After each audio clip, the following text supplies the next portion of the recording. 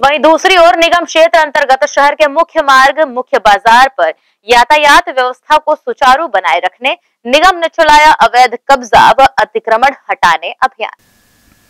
दुर्ग नगर पालिक निगम क्षेत्र अंतर्गत शहर के मुख्य मार्ग, मुख्य बाज़ार और यातायात व्यवस्था को सुचारू बनाए रखने निगम प्रशासन द्वारा लगातार अवैध कब्जा अतिक्रमण कर व्यवसाय करने वालों पर अपना अभियान जारी रखा गया। इसी कड़ी में चंडी मंदिर चौक एवं बाज़ार क्षेत्र हटरी बाज़ार में सड़क किनारे काबिज अतिक्रमणकारियों को हटाने की कार्रवाई की गई।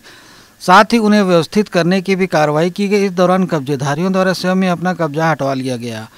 गौरतलब है कि सड़क किनारे लोग चाय ठेला, पान ठेला, सब्ज़ी, पसरा, खोमचा आदि लगाकर कारोबार कर रहे हैं, जिसकी वजह से आवागमन में लोगों को दिक्कत हो रही है। साथ ही यातायात भी बाधित हो रहा है। इसको ध्यान में रखते हुए निगम आयुक्त हरेश मंडावी के निर्देश पर निगम के अतिक्रमण तोड़ू दस्ता ने उक्त स्थान पर काबिज अतिक्रमणकारियों, कब्जेधारियों को हटाया और कई लोगों को व्यवस्थित किया।